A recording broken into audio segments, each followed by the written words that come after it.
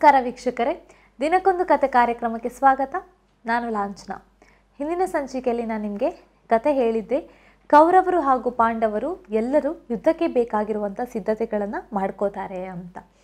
ಹಾಗೆ ಇನ್ನೇನು ಬೆಳಿಗ್ಗೆ ಆಗುತ್ತೆ, ಎಲ್ಲರೂ ತಮ್ಮ ತಮ್ಮ ಕಾರ್ಯಗಳನ್ನು ಮುಗಿಸ್ಕೊಂಡು ಯುದ್ಧಕ್ಕೆ ಬೇಕಾಗಿರುವ ಸಿದ್ಧತೆಗಳನ್ನು ಮಾಡ್ಕೋತಾರೆ.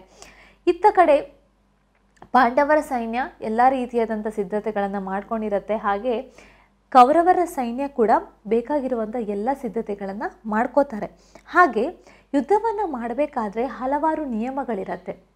ಹಾಗಾಗಿ ಇಬ್ಬರು ಕೂಡ ಆ ನಿಯಮಗಳನ್ನು ಮೀರಬಾರ್ದು ಅನ್ನುವಂಥ ಒಪ್ಪಂದಕ್ಕೆ ಕೂಡ ಬಂದಿರ್ತಾರೆ ಕೆಲವು ನಿಯಮಗಳು ಅಂತ ಹೇಳಿದರೆ ಯಾರಾದರೂ ಯುದ್ಧದಲ್ಲಿ ಸೋತು ಹಿಮ್ಮೆಟ್ಟಿದಾಗ ಅವನ್ನ ನಾವು ಸಾಯಿಸಬಾರ್ದು. ಹಾಗೆ ಪ್ರಾಣಿಗಳಿಗಿರ್ಬೋದು ಅಥವಾ ಸಾರಥಿಗಳಿಗಿರ್ಬೋದು ಅಥವಾ ರಥದಲ್ಲಿ ಅಂದರೆ ಕೆಲವು ಹಲವಾರು ನಿಯಮಗಳನ್ನು ಮಾಡುವಂಥ ಜನರಿರ್ತಾರೆ ಅವರಿಗೆಲ್ಲ ಯಾವುದೇ ರೀತಿಯಾದಂಥ ಹಿಂಸೆಗಳನ್ನು ಕೂಡ ಮಾಡಬಾರು ಅಂತಹ ಒಂದು ತೀರ್ಮಾನಗಳನ್ನು ಅವರು ಕೈಗೊಂಡಿರ್ತಾರೆ. ಹಾಗಾಗಿ ಯುದ್ಧದ ನಿಯಮಗಳನ್ನು ಕೌರವರು ಕೂಡ ಒಪ್ಕೋತಾರೆ, ಪಾಂಡವರು ಕೂಡ ಒಪ್ಕೊಂಡು ಅದೇ ರೀತಿಯಾಗಿ ಯುದ್ಧವನ್ನು ಮಾಡಬೇಕು ಅಂತ ತೀರ್ಮಾನವನ್ನು ಮಾಡ್ತಾರೆ. ಇತ್ತ ಕಡೆ ಹಸ್ತಿನಾಪುರದಲ್ಲಿ ಧೃತರಾಷ್ಟ್ರ ಇರ್ತಾರೆ. ಹಾಗಾಗಿ ಧೃತರಾಷ್ಟ್ರನನ್ನು ನೋಡೋಕ್ಕೋಸ್ಕರ ಹಿಂದಿನ ದಿನ ವ್ಯಾಸನು ಅಲ್ಲಿಗೆ ಬಂದಿರ್ತಾನೆ. ಬಂದು ಧೃತರಾಷ್ಟ್ರನಿಗೆ ಹೇಳ್ತಾನೆ, ಏನು ಅಂತ ಹೇಳಿದರೆ, ನಿಮ್ಮ ಮಕ್ಕಳು ಅಂದರೆ ಕೌರವರು ಈ ಯುದ್ಧದಲ್ಲಿ ಖಂಡಿತವಾಗಿ ಸೋಲ್ತಾರೆ. ಅನ್ನೋದು ನನಗೆ ಅನ್ನಿಸ್ತಾ ಇದೆ. ಹಾಗೆ ಆ ಸಮಯ ಕೂಡ ಈಗ ಬಂದಾಯಿತು. ನೀನು ಮನಸ್ಸು ಮಾಡಿದರೆ ಯುದ್ಧವನ್ನು ನಿಲ್ಲಿಸ್ಬೋದಿತ್ತು. ಆದರೆ ಈಗ ಏನೂ ಮಾಡೋಕ್ಕಾಗಲ್ಲ. ಆದರೆ ನಾನು ನಿನಗೊಂದು ವರವನ್ನು ನೀಡ್ತೀನಿ. ನಿನಗೆ ಯುದ್ಧವನ್ನು ನೋಡಬೇಕು ಅನ್ನೋದಾದರೆ ನಾನು ನಿನಗೆ ಕಣ್ಣುಗಳನ್ನು ನೀಡ್ತೀನಿ ಅಂತ ಹೇಳ್ತಾನೆ. ಅಂದರೆ ನಿನಗೆ ನೋಡ್ಬೋದು ಯುದ್ಧವನ್ನು ಅವ್ರು ಹೆಂಗೆ ಮಾಡ್ತಾರೆ ಅಂತ. ಆಗ ಧೃತರಾಷ್ಟ್ರ ಹೇಳ್ತಾನೆ, ನನಗೆ ಯಾವುದೇ ರೀತಿಯಾದಂಥ ಕಣ್ಣುಗಳು ಬೇಡ. ನಾನು ಯಾವುದೇ ರೀತಿಯಾದಂಥ ಯುದ್ಧವನ್ನು ನೋಡೋದು ಕೂಡ ಇಲ್ಲ. ಯಾಕಂದರೆ ತನ್ನ ಮಕ್ಕಳೇ ಸಾಯೋದನ್ನು ಯಾವ ತಂದೆ ತಾಯಿ ಆದರೂ ನೋಡೋಕ್ಕೆ ಇಷ್ಟಪಡ್ತಾರಾ? ಖಂಡಿತವಾಗಿ ಇಲ್ಲ ಅಲ್ವಾ?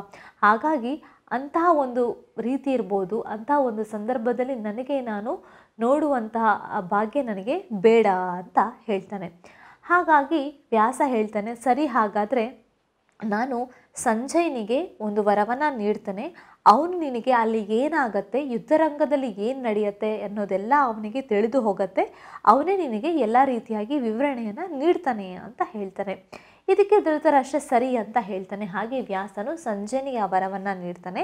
ಇದರಿಂದಾಗಿ ಸಂಜಯನಿಗೆ ಆ ಕುರುಕ್ಷೇತ್ರ ಯುದ್ಧದಲ್ಲಿ, ಆ ಯುದ್ಧ ರಂಗದಲ್ಲಿ ಯಾವ ರೀತಿಯಾದಂಥ ನಡೆಯುತ್ತೆ, ಅಲ್ಲಿ ಹೇಗಾಗಿರುತ್ತೆ ಏನಿರುತ್ತೆ ಎಲ್ಲವನ್ನು ವಿವರಿಸುವಂತಹ ಒಂದು ಶಕ್ತಿ ಬರುತ್ತೆ. ಹಾಗೆ ಅವನು ಅದನ್ನು ಧೃತರಾಷ್ಟ್ರನಿಗೆ ವಿವರಿಸ್ತಾನೆ.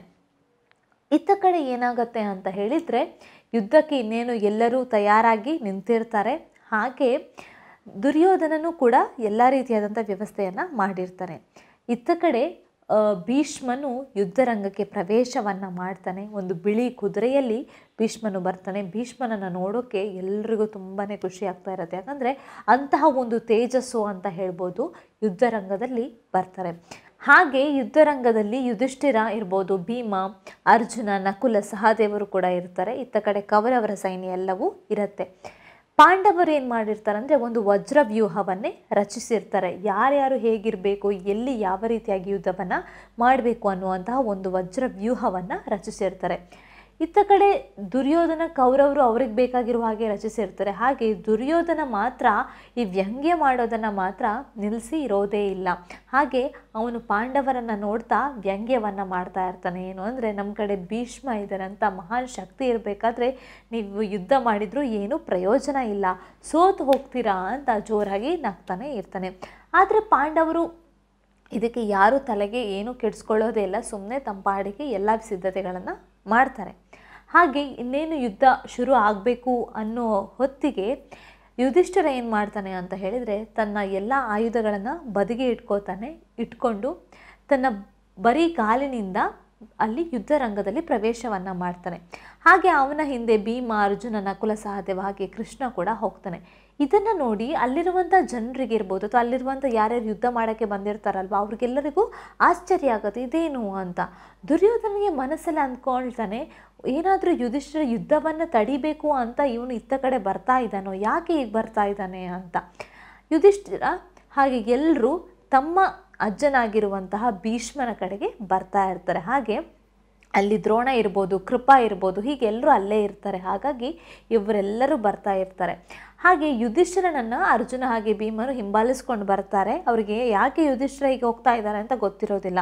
ಆಗ ಅರ್ಜುನ ಹೇಳ್ತಾನೆ ಅವ್ರಿಗೆಲ್ಲ, ಯುಧಿಷ್ಠಿರ ಯಾಕೆ ಹೋಗ್ತಾ ಇದ್ದಾನೆ ಈ ಥರ ಅಂದರೆ ಯುದ್ಧವನ್ನು ಮಾಡೋದಕ್ಕಿಂತ ಮುಂಚೆ ಹಿರಿಯರಿಂದ ಆಶೀರ್ವಾದವನ್ನು ತೆಗೆದುಕೊಳ್ಳೋದು ತುಂಬಾ ಮುಖ್ಯ.